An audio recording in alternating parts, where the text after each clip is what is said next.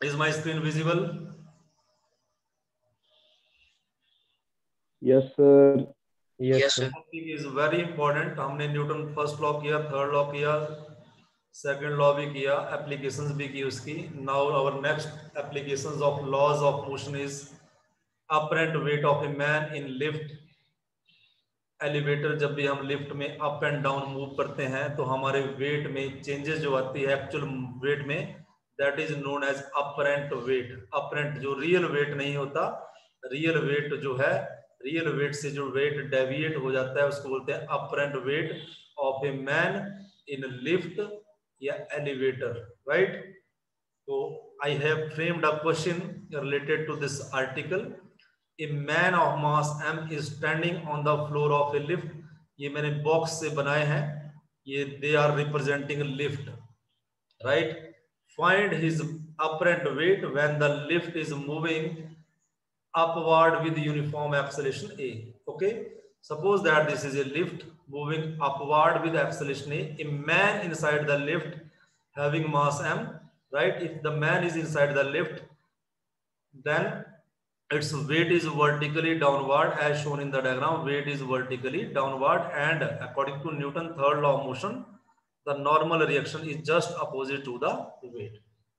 जब lift rest पे होगा तो हमारे पास सिचुएशन आती थी R is equal to M G जब रेस्ट पे है, लेकिन जब लिफ्ट मूव करेगी विद एक्सलेशन अपवर्ड तो एक्सलेशन जब अपवर्ड होगी देन व्हाट हैपन तो इट मींस लिफ्ट में मैन भी मूव करेगा तो नॉर्मल रिएक्शन जो ये नॉर्मल रिएक्शन है, ये नॉर्मल रिएक्शन ये ज़्यादा होगा वेट से तो ही लिफ्ट अपवर्ड मूव करेगी तो I am writing here lift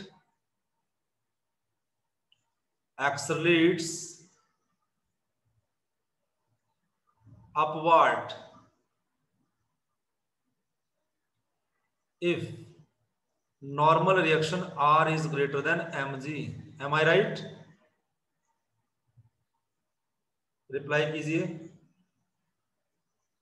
yes so R is greater than M G so कल भी मैंने आपको बताया था R minus M G this is force this is force is equal to resultant force net force बच गई इसमें। ये इसको नेट फोर्स भी बोलते हैं is equal to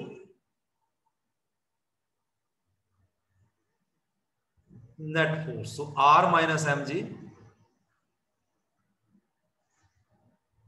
is moving upward with acceleration A. तो force न्यूटन का स्टेटमेंट है force is equal to mass mass इसका m और acceleration इसका a. Understand बेटा? Reply करो.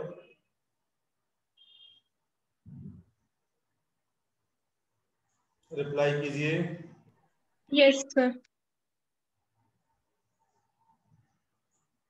अब यहाँ से आर हम निकाल लेंगे R is equal to M G plus M A finally R is equal to M into G plus A R lift up जा रही है तो अपरेंट वेट आया मेरे पास। Apparent R is apparent weight apparent weight जो है, ये R है। R is equal to this M into G plus A इसका जो एक्चुअल वेट था एम जी उसमें क्या चीज़ ऐड हो गई? एम ए उसका मास और उसकी एक्सलेशन जो है ऐड हो गई। अपरेंट वेट इंक्रीजेस ए में जी ऐड हो गया एक्स ग्रेविटी में जी ऐड हो गया। Apparent weight increases note this this word apparent weight क्या करेगा? इंक्रीज करेगा. मैं इसको यूज़ करूँगा नमेरिकल में. इस कॉन्सेप्ट को यूज़ करने वाले हैं हम न्यूमेरिकल में. अंडरस्टैंड बेटा? ओके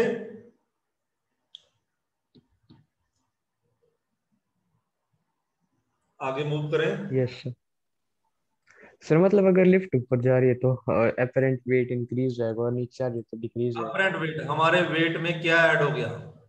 जी में एम जी में क्या ऐड हो गया? ऐड ऑन जाएगा ना। एक्सेलेशन होगी इंक्रीज करेगा। Yes sir right yes sir अब देखिए इसमें और समझ आएगा आपको जब ये एक्सेलेट डाउन करेगा जब डाउन करेगा number two lift moves down with acceleration, जब एक्सेलेशन डाउन होगी।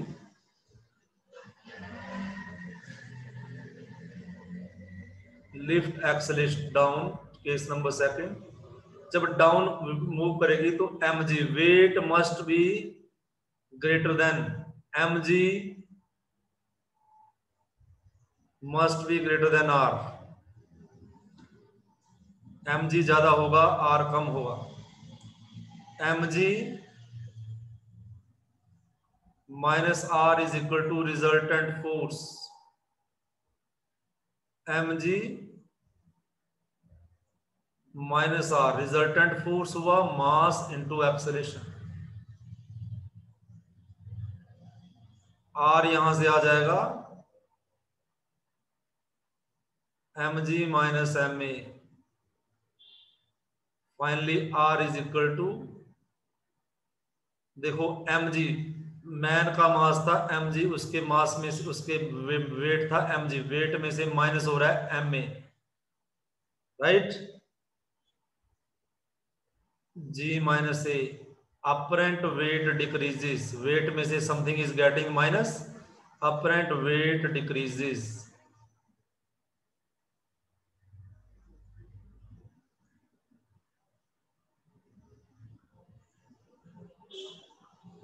okay बेटा? यस सर जी में से एक माइनस हो रहा है. Apparent weight decreases case number third at rest और मूविंग विद यूनिफॉर्म वेलोसिटी अगर वेलोसिटी यूनिफॉर्म है एक्सलेशन बन जाएगा DV by D T uniform का मतलब कांस्टेंट तो एक्सलेशन ज़ीरो एक्सलेशन का मतलब ज़ीरो जो है लिफ्ट जो है रेस्ट पे है। Rest right lift is at rest lift is at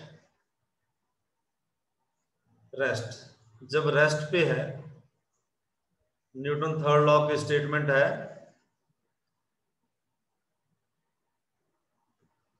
normal reaction is equal to M G. ये आना चाहिए मेरे पास और ये मैं प्रूव कर सकता हूँ। इस इक्वेशन से प्रूव कर सकते हैं हम। इसको इक्वेशन नंबर वन मान लें। Equation one R is equal to या इस इक्वेशन से नहीं करेंगे आप इस, इस ये आर इज़ इक्वल टू कौन सी इक्वेशन से करें? R is equal to M G कौन सी इक्वेशन से आ रहा है?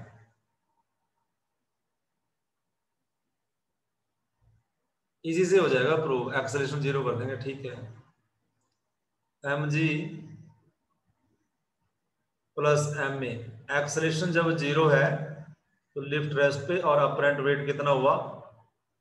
एम जी ही आया मेरे पास एम जी ही आया। ये ज़ीरो हो गया पार्ट जब लिफ्ट रेस्ट पे है। जब लिफ्ट अप जा रही है तो अपरेंट वेट कितना आया? एम जी में कुछ ऐड हो रहा है। Something is getting added in the M G तो अपरेंट वेट बढ़ गया। ये है, ये actual weight right actual weight में एम में ऐड हो गया तो ये बन गया एम जी प्लस एम में अपरेंट वेट यहाँ पे actual weight M G M G में से कुछ माइनस हो गया तो जो है जो वेट नया आया एम जी में से this is also the weight M G में से समथिंग इज़ गेटिंग माइनस तो new weight is apparent weight apparent weight क्या कर गया? डिक्रीज कर गया. इसमें जो है नो चेंज जब रेस्ट पे है तो R is equal to M G बोलो ये समझ में आ गया बेटा इतना?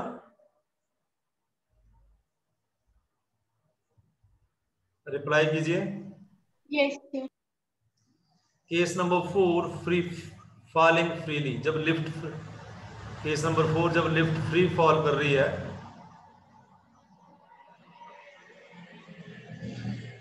तो ऑब्जेक्ट का एक्सलेशन जी के बराबर होगा।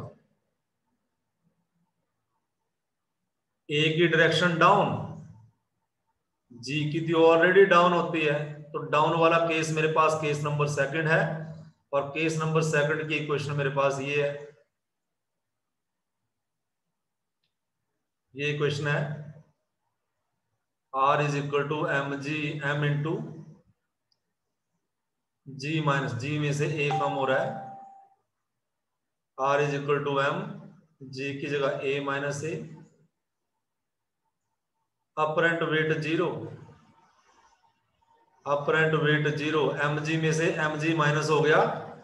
This is the situation of weightlessness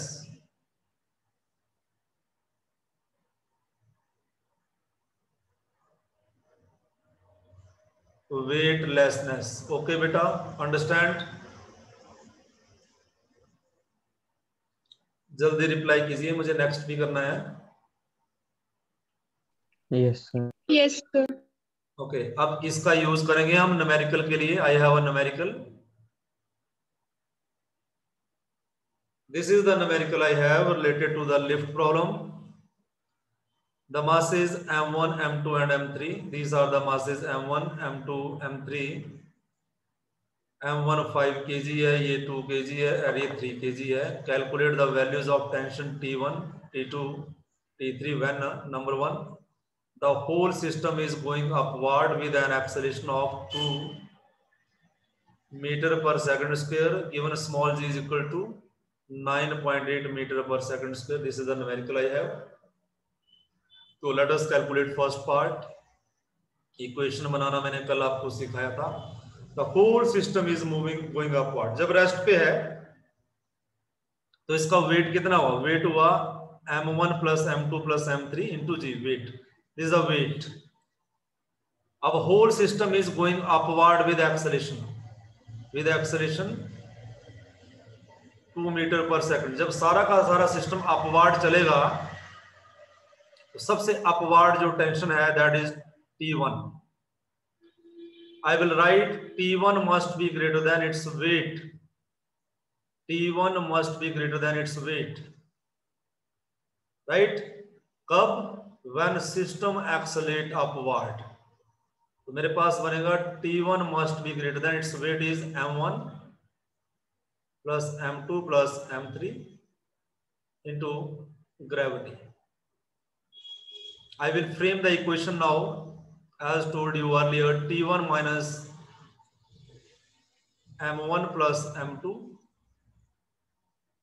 plus M3 into G. This is the upward force. This is a downward force. Upward minus downward. Upward force minus downward. तब भी ऑब्जेक्ट ऊपर जा रहा है इसका मतलब कुछ फोर्स बच रही है net upward force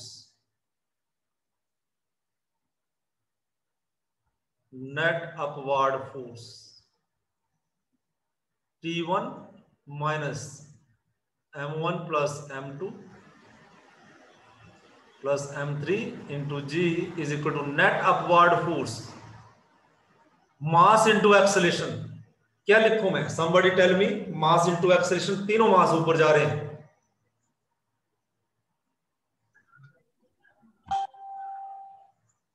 कोई बताएगा मुझे all the three masses are moving upward with the same acceleration, then what should I write here? Net upward force. m1 plus m2 plus m3 is the total mass into acceleration. Reply कीजिए question समझ में आया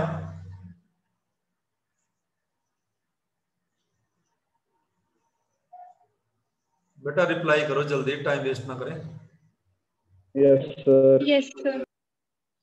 मेरे से पूछा गया what is T1 जब system आप जा रहा है what is T two what system आप जा रहा है टी थ्री तो टी वन यहाँ से निकल जाएगा। It is equal to M one plus M two plus M three into G ये इधर जाके प्लस में हो गया plus M one plus M two into A into A. So T1 is equal to M1, M2, M3 common.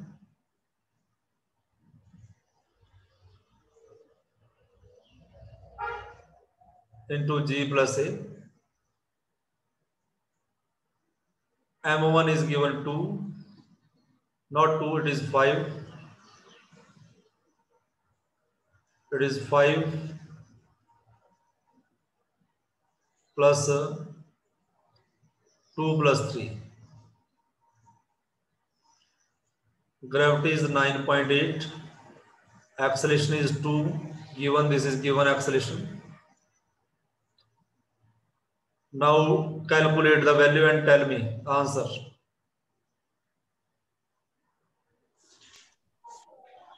जल्दी जल्दी answer बताएँ 8 Newton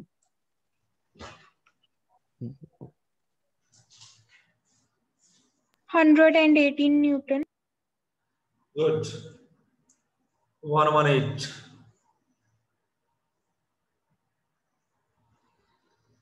Similarly मुझे टी टू भी निकालना है तो ये वाला पोर्शन छोड़ दें अब जब लिफ्ट ये वाला निकाल दिया हमने यहाँ से। जब लिफ्ट अप जाएगी तो T2 must be greater than the downward weight कि T2 जो है, ज़्यादा होना चाहिए इससे वेट से। वेट ये मास निकाल दिया, ये ऊपर रह गया। मेरे पास क्या बचा? M2 plus m3 into g so t2 minus m2 plus m3 into g is equal to net upward force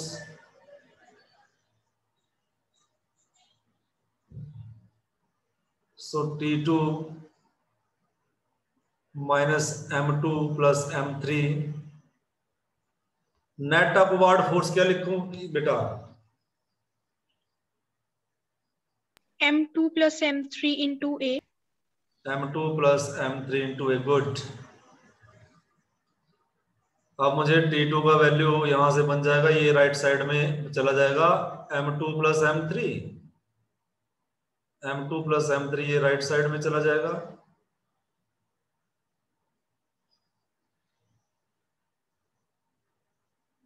और कॉमन भी आ जाएगा, अंदर बचेगा g plus A put the value and tell me the answer of 59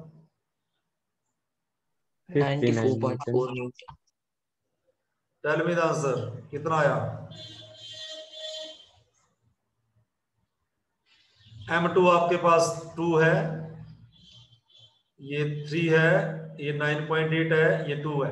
answer बताइए। 94.4 Newton no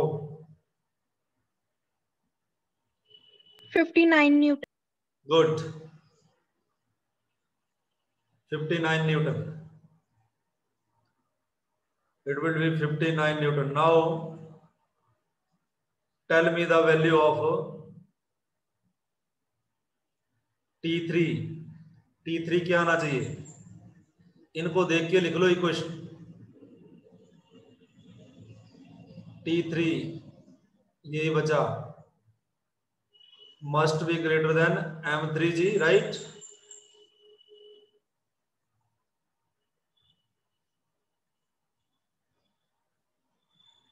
right बेटा?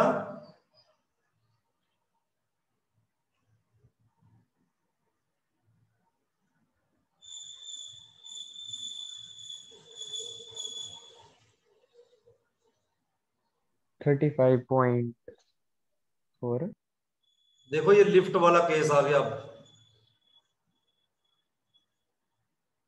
Lift जब up जाती है तो जी प्लस ही था ना?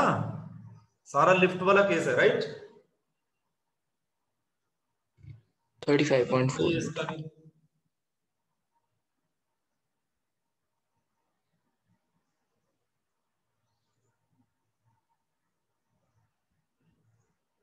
आंसर बताओ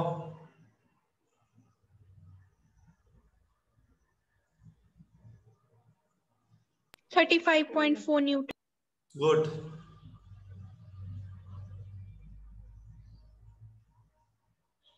35.4 Newton.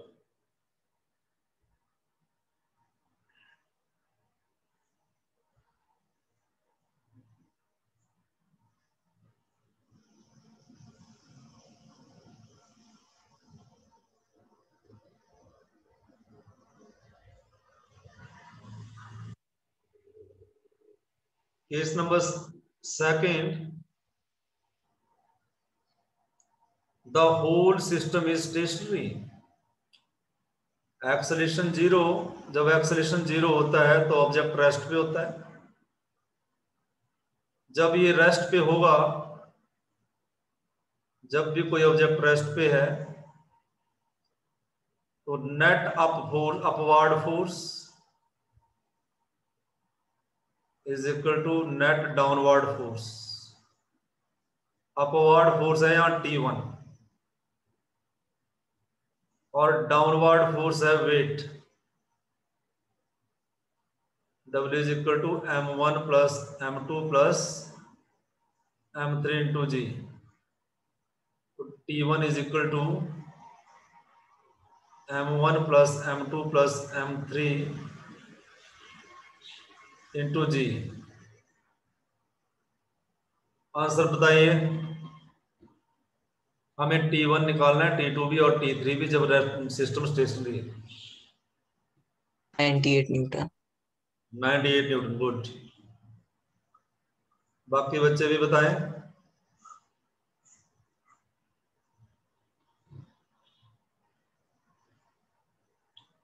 सिमिलरली टी टू आ जाएगा नेट वेट डाउन के बराबर।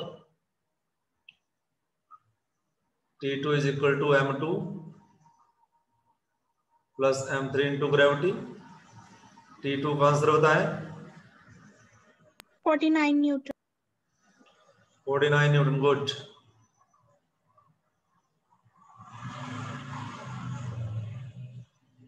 similarly t3 is equal to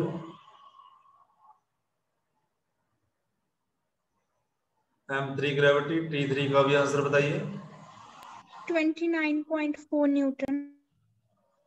आप आंसर कैलकुलेट करते हो या बुक तो नहीं रखी है बेटा साथ में कहीं? जल्दी बता देते हो मेरे से पहले ही। नो सर मैंने आपसे पहले कैलकुलेट कर लिया था। ओके वेरी नाइस मैं ऐसे ही बोल रहा हूँ। अब ऐसे आपने 10 न्यूमेरिकल और करने हैं। कितने बोला मैंने? 10 न्यूमेरिकल्स आपको एक क्वेश्चन बनाना बता दिया। मैं 10 न्यूमेरिकल नहीं करा सकता क्योंकि सिलेबस भी आगे बढ़ाना होता है। मैंने आपको तरीका बता दिया गाइड कर दिया।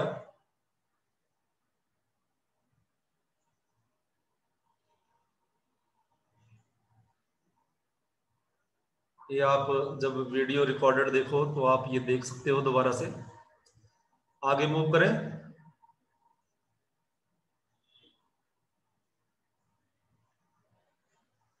आने वाले टॉपिक बहुत इंपॉर्टेंट है मास फुल्ली कॉन्सेप्ट और concurrent forces highly technical topics ये क्वेश्चन हमने कल कर लिया था। ये रह गया था। Prove that Newton third law is contain in the second law third law ये है action is equal to reaction but opposite in direction second है force is equal to change in momentum इसको प्रूव करने के लिए let us suppose that we have two objects object A object B interacting with each other ये इसके ऊपर force लगा रहा है। Force on the B by the A. Force on on B by A और B A पे लगा रहा है F A B जिस पे फोर्स लग रही है वो मैंने पहले लिखा force on A due to B due to B according to Newton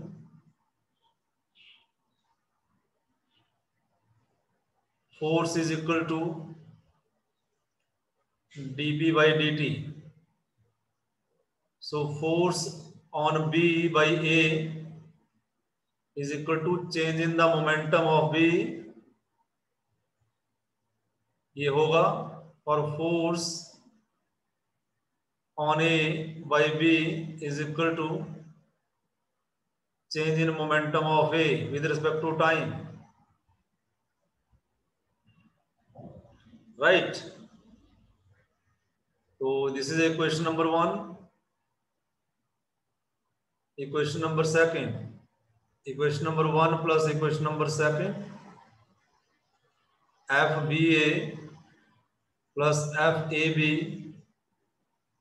is equal to D momentum of B plus momentum of T divided by dP by dt, not T, momentum of T. Momentum of A with respect to time. And uh, it is finally equal to d by dt into momentum of B plus momentum of A.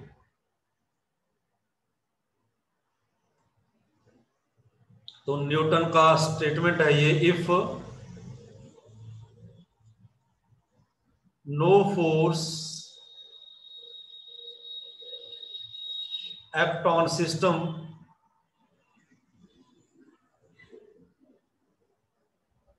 then क्या statement है? अगर system पे कोई force नहीं लगता है तो momentum क्या होगी? बताइए। रिप्लाई करो। If no force act on the system then rate of change of momentum is zero ये वो भी ज़ीरो हो जाएगा। Then rate of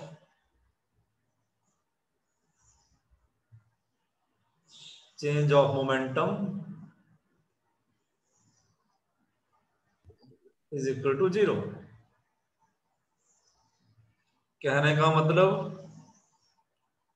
D Y D T of P A plus P B is equal to zero which implies F B A is equal to F A एक minute F A B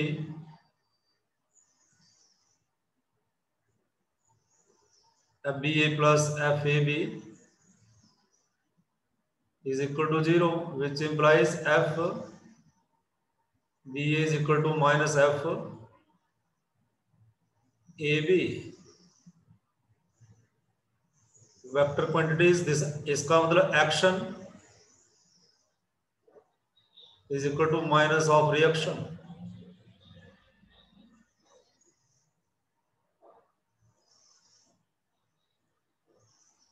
action is equal to reaction Understand बेटा? Excuse me sir हाँ जी बेटा बोलो। Sir आपने लिखा है F B ए को लिखा। आपने force on B by A तो सर जो ये फोर्स होगी ये पूरे ये तो ए के मोमेंटम पे डिपेंड नहीं करेगी लेकिन आपने करेगी ना ए के मोमेंटम पे डिपेंड क्योंकि ए लगा रहा है बी पे। देखो ये लिखा मैंने एफ़ बी ए इसका मतलब हुआ force on B by A. By A. ये बी पे फोर्स लगा रहा है ये वाली फोर्स यस सर और तो बी भी इसके साथ जो है इंटरेक्ट कर रहा है। तो ये Yes, लग रही है इधर इधर ये बी लगा रहा है ए के ऊपर उसकी डायरेक्शन ये है। Yes sir force on A A पहले लिखा बाई बी यस सर तो F B A force on B by A B जब ए पे फोर्स लगाएगा force on B by A तो मोमेंटम चेंज होगी, पीछे हटेगा ये।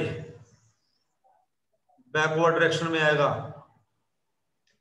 अब ये फोर्स ए लगा, सर मैं बोल रहा था कि ये फोर्स तो ए ऑब्जेक्ट ऑब्जेक्ट ए लगा रहा है, ये फोर्स ना तो ये जो फोर्स होगी, ये ए के मोमेंटम पे डिपेंड करेगी फिर। आप ये बोल रहे हो मुझे लग गया पता। आप ये बोल रहे हो कि बी ए पे लगा रहा है राइट तो नो सर ए लगा रहा है बी पे। ए लगा रहा है बी पे आपने ऊपर लिखा है। Force on B by A तो यहाँ पे जो मोमेंटम ले, हम लेंगे वो ए का लेंगे क्योंकि ए फोर्स लगा रहा है उसका मोमेंटम पे सारी फोर्स डिपेंड करेगी। ये लिखी मैंने change in momentum of B ये वाला। ये change in momentum of A ये लिखा मैंने, इस फोर्स के कारण है, अब एफ़ ए बी आप पूछो, क्या पूछ रहे हो? क्लैरिटी लाओ क्वेश्चन में दोबारा। सर मैं बस ये बोल रहा था ना कि हाँ जो आपने इक्वेशन वन में जो मोमेंटम होगा, वो शायद एक